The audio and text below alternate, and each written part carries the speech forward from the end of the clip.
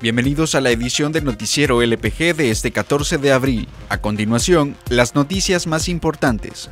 La empresa Excle Soluciones Biométricas, una de las empresas que aspira a desarrollar y ejecutar el sistema de voto electrónico en El Salvador en 2024, fue sancionada hace tres años por el Departamento de Estado de los Estados Unidos. La empresa argentina, con filiales en Paraguay y Venezuela, desarrolló y ejecutó el software utilizado en las elecciones legislativas de Nicolás Maduro, cuyos resultados fueron señalados como fraude por Estados Unidos y rechazados por la Unión Europea y casi 60 países. Tres fuentes del Tribunal Supremo Electoral confirmaron a la prensa gráfica que Excle es una de las ocho empresas que han mostrado su interés para implementar el sistema de voto electrónico para los salvadoreños en el exterior.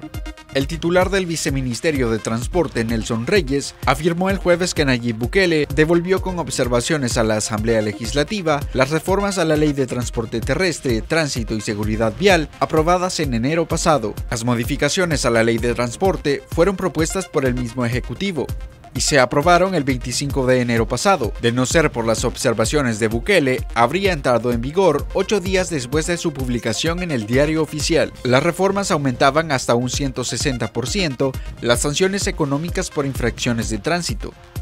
Aunque las reformas no se han hecho efectivas, el viceministro de Transporte sostuvo ayer que el solo anuncio de los cambios generó efectos positivos en los conductores.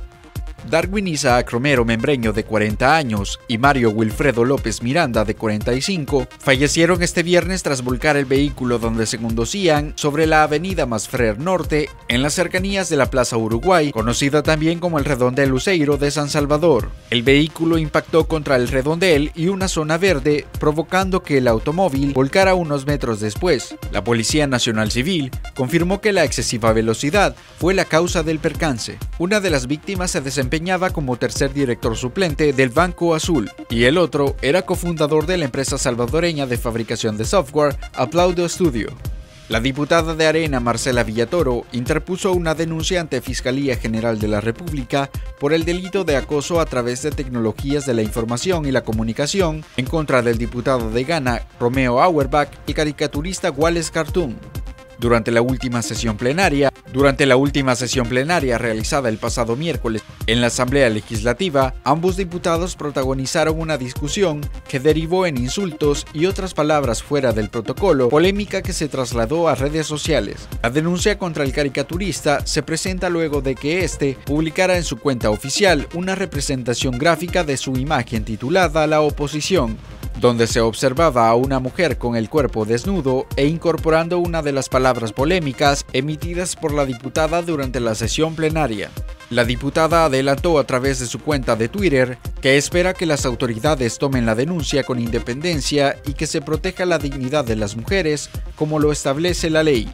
Durante unas horas, la cuenta del caricaturista permaneció en privado para posteriormente hacerla pública nuevamente con una nueva foto de perfil y dando su postura sobre el caso.